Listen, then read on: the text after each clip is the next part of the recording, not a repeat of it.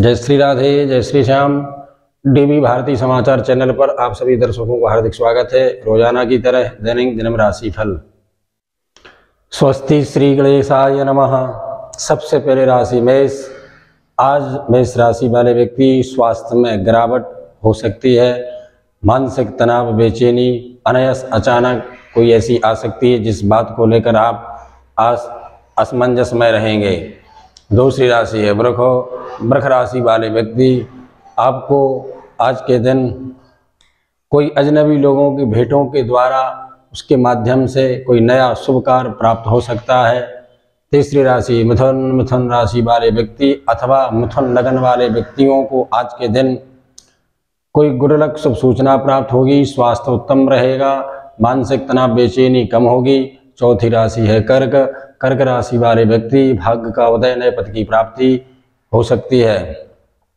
पांचवी राशि है, सिंह सिंह राशि वाले व्यक्ति स्थानांतरण के योग संयोग बन रहे हैं। बच्चों के भविष्य को लेकर कोई नया धंधा व्यापार आज आप प्रारंभ कर सकते हैं। छठवीं राशि, कन्या कन्या राशि वाले व्यक्ति आप स्वाभिमानी प्रवृत्ति के व्यक्ति हैं, इसलिए आज के दिन आप सचेत, सतर्क और सावधान रहें किसी ऐसी बात को लेकर के। सातवीं राशि, तुला तुला राशि वाले व्यक्ति, आपको आज कोई भूमि से संबंधित लाभ प्राप्त होगा अथवा कोई ज़मीन का क्रय विक्रय आज के दिन आप कर सकते हो, या ऐसी बात आपके मन में आ सकती है। आठवीं राशि, वृश्चिक वृश्चिक राशि वाले व्यक्ति, भाग्य का उदय पद की प्राप्ति, स्थानांतरण के योग एवं कोई मांगलिक शुभ सूचना प्राप्त होगी। नवम राशि है। धनु धनु राशि वाले व्यक्ति, घर परिवार वालों की बड़ी ज़िम्मेदारी को बड़े पूर्ण रूप से आप आज के दिन निभा सकते हो। दसम राशि है मकर। मकर राशि वाले व्यक्ति, आपके ऊपर शनि साढ़े साथी महादशा जो चल रही थी, वह विश्राम है और आज से आपका विशेष शुभ कार्य प्रारंभ होने वाला है।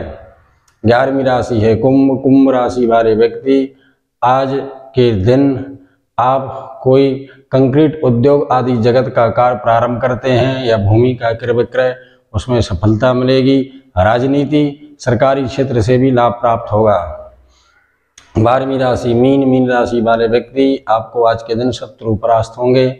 मित्रों से सहयोग प्राप्त होगा। घर के भरण पोषण, कुटुंब की एकता के लिए कोई नया कार्य आज आप प्रारंभ कर सकते हो। जय श्री कृष्णा। जय श्री राधे, जय माँ पीताम्बरा, जय माँ बिंदवासिनी